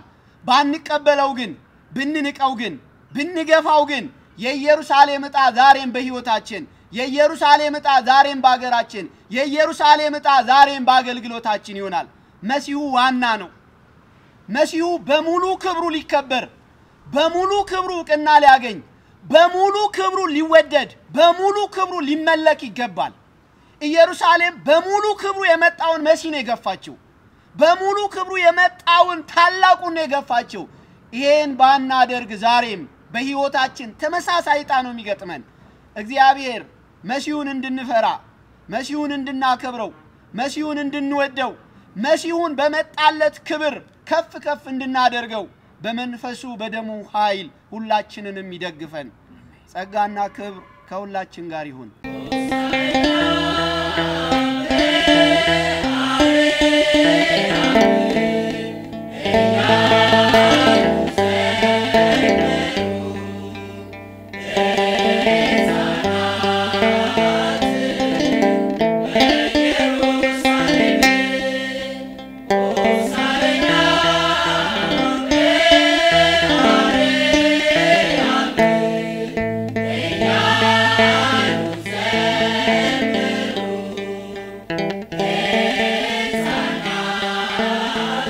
እግዚአብሔር የተመሰገነ ይሁን።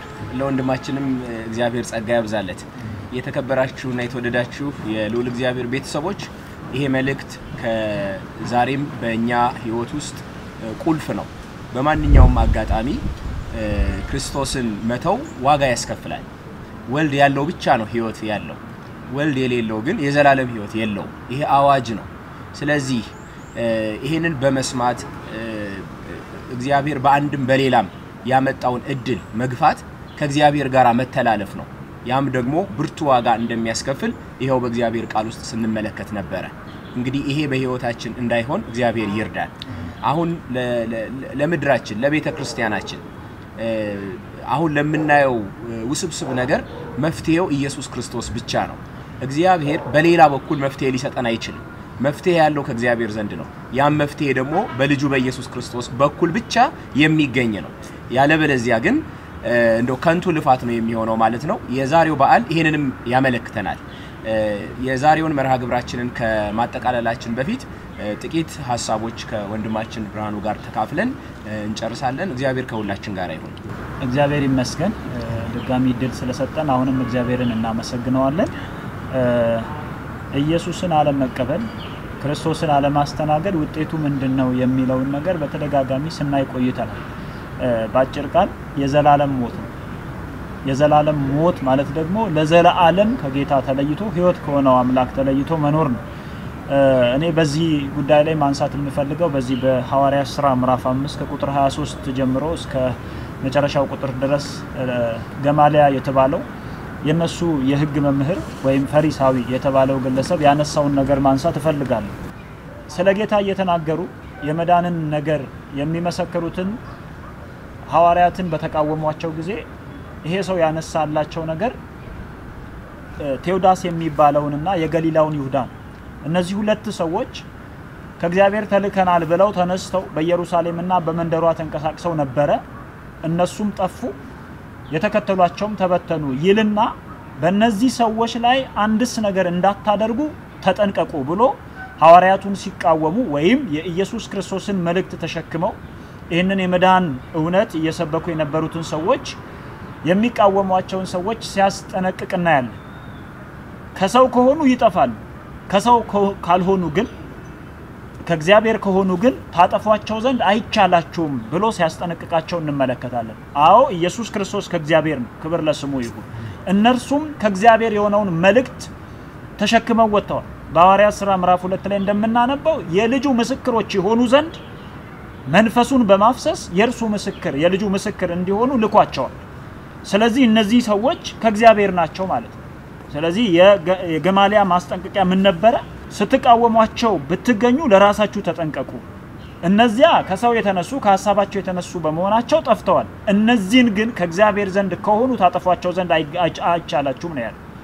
ስለዚህ ከጌታ ዘንድ የመጡትን ማስተናገድ እ፣ ግዴታችን ይሆናል ማለት ነው። አለማስተናገድ የዘላለም ሞት ስለሆነ ማለት ነው። በልጁ ያመነ የዘላለም ሕይወት አለው። በልጁ ያላመነ ግን በአንዱ በእግዚአብሔር ልጅ ስላላመነ አሁን ተፈርዶበታል ስለሚል አምኖ ማስተናገድ ግዴታችን ይሆናል። እንደተባለው ደግሞ ጌታ የሁል ጊዜ ልባችንን ናፋቂ ነው። ለኢየሩሳሌም ያነባው ጌታ፣ ለከተማዋ ሕዝብ ያነባው ጌታ ዛሬም በደጅ ቆሞ እንደሚያንኳኳ ዮሐንስ በራእዩ ምዕራፍ 3 ቁጥር 20 ላይ ይነግረናል። እነሆ በደጅ ቆሜ አንኳኳለሁ ብሎ መልእክቱን እንዲያደርስ ለላከው ለዛች ለሎዶቅያ ቤተክርስቲያን አለቃ ሲናገር ባነሳው ሀሳብ ላይ በደጅ ቆሜ አንኳኳለሁ ይላል። የጸጋው ዘመን እስኪጠናቀቅ ድረስ ጌታ በደጅ ቆሞ ያንኳኳል። ከሚያንኳኳባት መንገዶች አንዱ ደግሞ ነው ይሄው ይሄም አንዱ መንፈሳዊ መርሃ ግብር ጌታ የልቦቻችንን ደጆች የሚያንኳኳበት መሰረታዊ ሁኔታ ያለው። ስለዚህ ይህን ጌታ ብንገፋ ውጤቱ ምንድን ነው? የዘላለም ሞት። ብንቀበለውስ ከእርሱ ጋር ለዘላለም መንገስ ክብር ይሁንልን። ከእርሱ ጋር የዘላለምን ሕይወት መኖር ነው የሚሆን። ስለዚህ እንዳንተላለፍ እንደ ጠፋች እስራኤል እንደ ተደመሰሰችው ኢየሩሳሌም እንዳንጠፋ እንዳንቀጣ የጌታ ቁጣ እንዳይሆን እንዳይመጣብን ልንጠነቀቅ ይገባል። የተቀደሰበትን የኪዳን ደም ያክፋፋ ነው የሚለው ምንኛ ፍርድ ይጠብቀዋል። ደሙን ያፈሰሰው ለኛ ነው። ስጋውን የቆረሰው ለኛ ነው። የሕማም ሰው የተባለው ለኛ ነው። ከዚህ ጌታ ጋር መተላለፍ ውጤቱ ሞት ነው የሚሆን። ቤተሰቦቼ ከዚህ እውነት ጋር እንድንታረቅ መንፈስ ቅዱስ ይርዳል። እግዚአብሔር ከሁላችን ጋር ይሁን። በዓሉ የሰላም ይሁንላችሁ።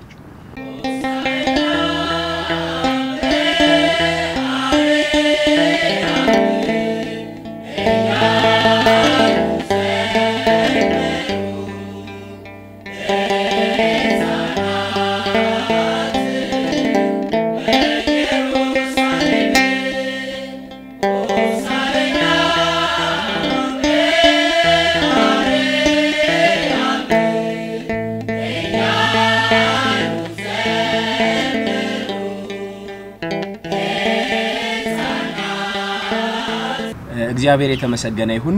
ወንድማችን እግዚአብሔር ጸጋ ያብዛልህ። የተወደዳችሁ የእግዚአብሔር ቤተሰቦች ፕሮግራማችን እስካሁን የተከታተላችሁትን ይመስል ነበረ። እንግዲህ የሆሳዕና የሚባል በዓል ብቻ እንዳታከብሩ።